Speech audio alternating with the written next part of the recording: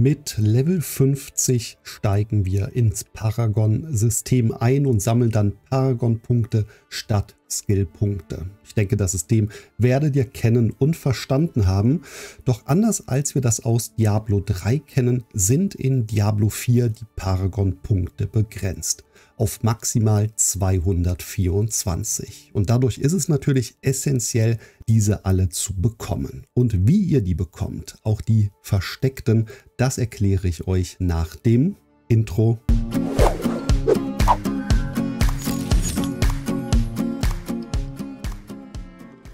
Ab Stufe 50 gibt es mit jedem Levelaufstieg vier Paragon-Punkte.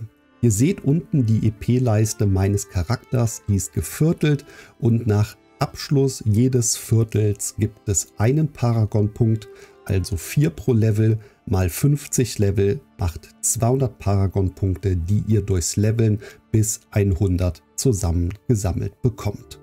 Dann gibt es beim Regionsfortschritt für jede Region, also für die zersplitterten Gipfel, die Trockensteppe, Havesa, Kirgistan und Skoskelen je vier Paragon-Punkte beim Erreichen der Stufe 5. Und ihr seht, bei mir ist das hier noch gesperrt, weil man die Stufe 5 erst freischaltet, wenn man die Weltstufe 4, also Qual, erreicht hat. Und das habe ich eben noch nicht. Deswegen bin ich noch nicht da. Ab dieser Stufe 5, wenn man die erledigt hat, gibt es vier weitere Paragon-Punkte pro Gebiet. Also vier Punkte mal 5 Gebiete macht 20 Punkte plus die 200 vom Leveln sind 220 Punkte. Und ich sagte zu Beginn, es gibt 224. Das heißt, nach Adam Riese fehlen da noch vier. Die vier versteckten, weil ihr diese erhaltet, wenn ihr versteckte Altäre von Lilith findet. Und das sind vier ganz spezielle. Wichtig, das wisst ihr, alle Boni von Lilith Altären, die gelten für alle Charaktere. Also die Paragon-Punkte, die ihr mit einem Charakter holt, indem ihr diese vier Altäre eben findet, die sind für alle Charaktere dann freigeschaltet und stehen für alle zur Verfügung. Und eben auch für neue Charaktere. Das ist ganz wichtig. Stichpunkt Season. Heißt, habt ihr das heute mit einem Charakter freigeschaltet, dann erhaltet ihr diese Boni auch mit dem Charakter den ihr für die erste Season erstellen werdet. Also ganz, ganz wichtig. So, wo finden wir nun diese vier versteckten Altäre? Den ersten in der Trockensteppe im Flachödland von Dindai.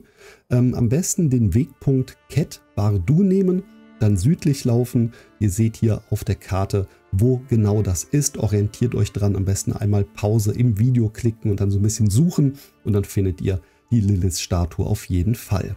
Die zweite findet ihr ebenfalls in der Trockensteppe in den Feldern des Hasses. Wegpunkt Alzuda, ebenfalls südlich laufen und ja, es ist immer so ein bisschen Sucherei, auch wenn man den Punkt auf der Karte sieht. Aber dann habt ihr das Ganze dort auch abgeschlossen, also die zweite dann gefunden und angeklickt. So, bei der dritten wird es ein bisschen kniffliger, weil ihr dafür zunächst eine Festung befreien müsst. Also die Quests erledigen, die da angegeben sind, den Boss umgehauen und dann den Schrein aktiviert. Und wenn ihr das gemacht habt, dann taucht eben auch die Statue auf in der Trockensteppe am Tempel der Fäulnis. Den Wegpunkt Girandai nehmen und dann nördlich laufen, äh, Festung befreien und dann eben die Statue aktivieren. Das war die dritte und nun die vierte noch versteckt hinter Karren mit Fässern und Schrott, äh, einfach zwei, dreimal draufgeschlagen. Dann kommt ihr zur guten Lilith-Statue, ebenfalls in der Trockensteppe. Ich weiß nicht, warum die da alle zu finden sind. Am Schabbatakamm, Wegpunkt Zuflucht des Schicksals am besten genommen, südlich gelaufen, den Karren zerkloppt und dann habt ihr da die vierte Statue gefunden.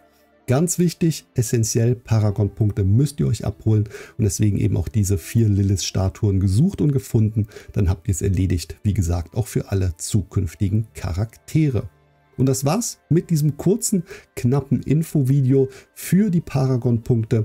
Ähm, ich hoffe, ich konnte euch damit ein bisschen weiterhelfen. Und wenn ja, dann abonniert am besten noch meinen Kanal, um in Zukunft solche wichtigen Videos nicht mehr zu verpassen. Und wenn ihr mich ein bisschen unterstützen möchtet, dann guckt euch doch gerne mal die Kanalmitgliedschaft an.